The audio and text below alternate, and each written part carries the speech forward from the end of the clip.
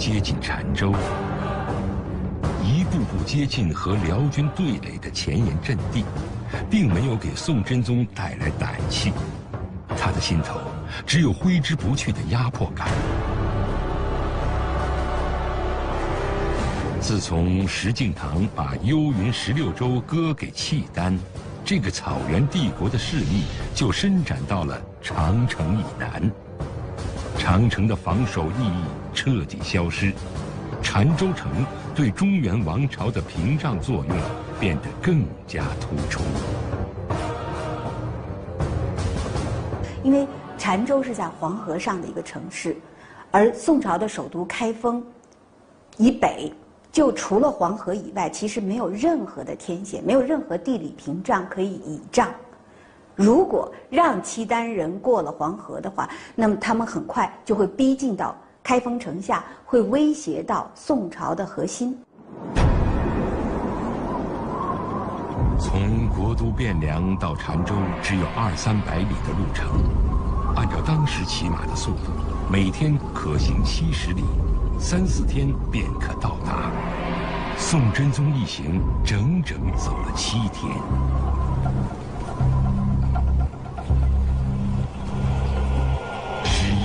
十六日这一天，刺骨的寒风中，宋真宗的车驾终于晃晃悠悠地抵达了澶州。他鼓起的勇气，也就此到了尽头。澶州呢是南北两个城，它是跨在黄河上的。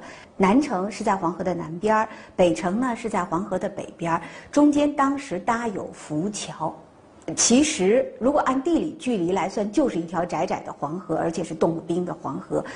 地理距离来讲，这是一个很小的距离，但是心理距离是一个非常大的距离，因为契丹人其实就在。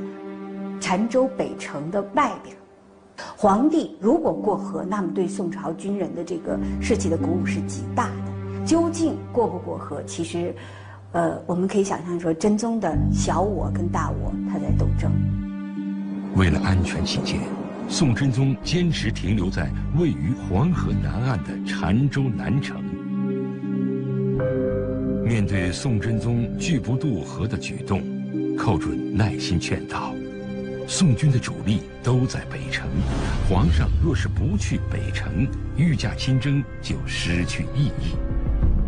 更何况各路大军已经陆续到达澶州，皇上大可不必担心安危。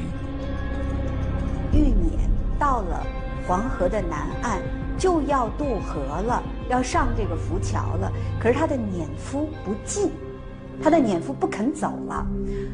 我想，辇夫这个犹豫啊，应当在一定程度上可以解读为是真宗的犹豫。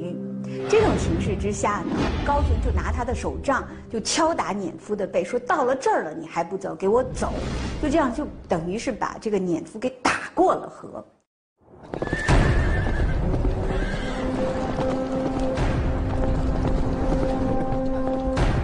皇帝御驾亲征，其象征意义远远大于军事作用。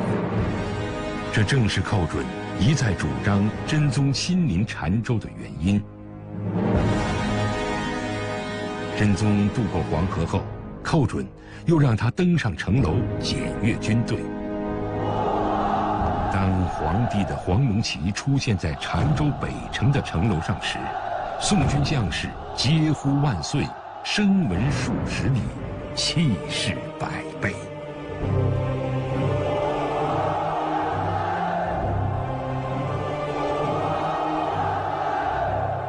这场战争啊，是一场虽然是事出有点仓促啊，但是规格很高。这个宋代这边是皇帝御驾亲征，宰相在这一下阵，那各路各路人马都该来都来了。从辽国这一方面是太后主持，他的他也有精兵强将，出席这场战争场面的都是两边的最高领导人，所以从这个角度是规格很大。宋辽双方相持不下，谁都输不起。历史发展到了这里，扭成了一个死结。恰恰就在这个关键节点上，发生了一件不可思议的事情。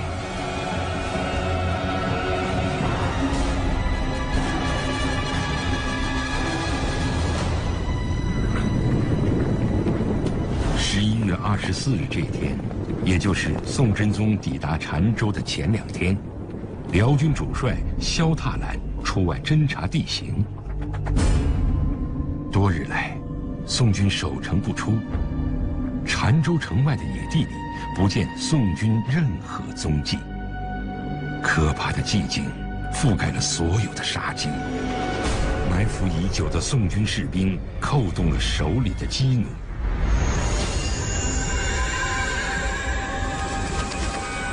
利剑携带着恐怖的风声直奔萧踏澜的面门，他没有躲过，甚至没有来得及叫一声就倒下了。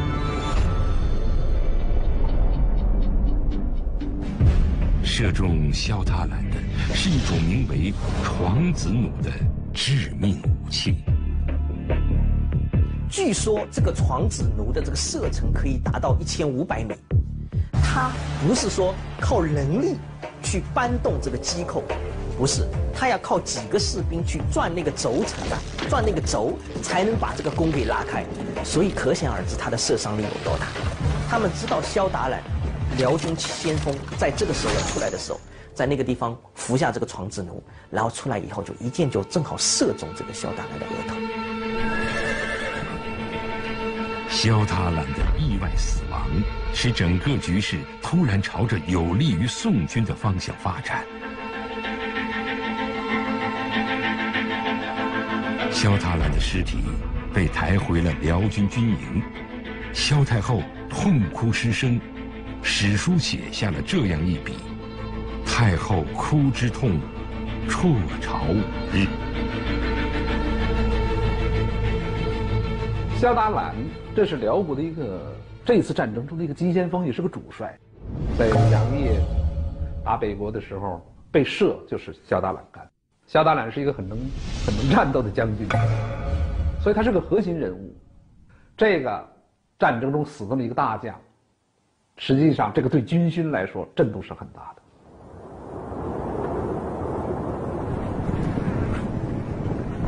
辽军兵临澶州城下。宋真宗忐忑不安，他或许不会想到，此时真正心惊肉跳的是辽国的萧太后。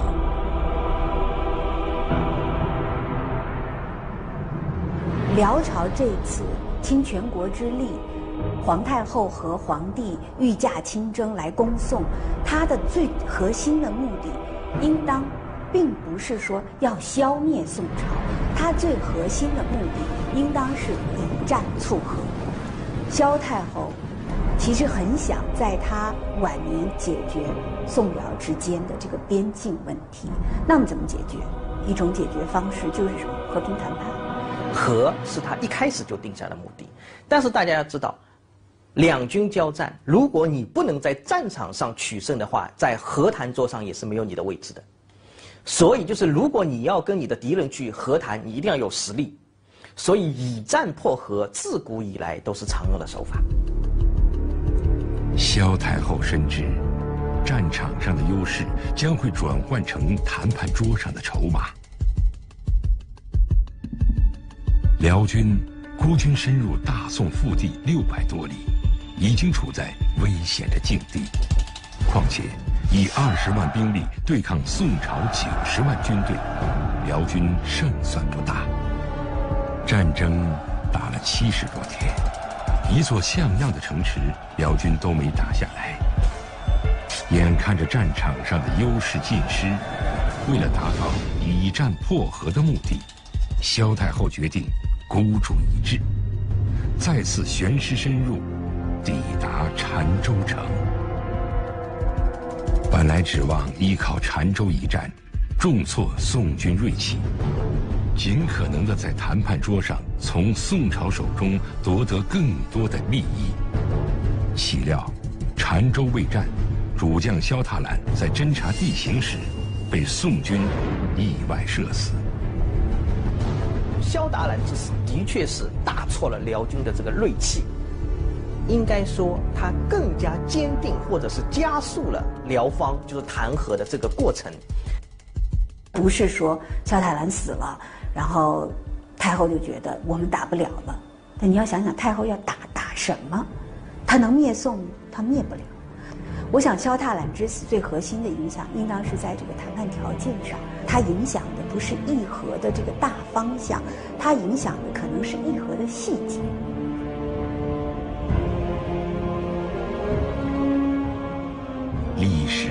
性，有时恰恰存在于偶然的突变当中。正是这些偶然，将大战前夕的宋辽双方置于更加难以预测的命运之中。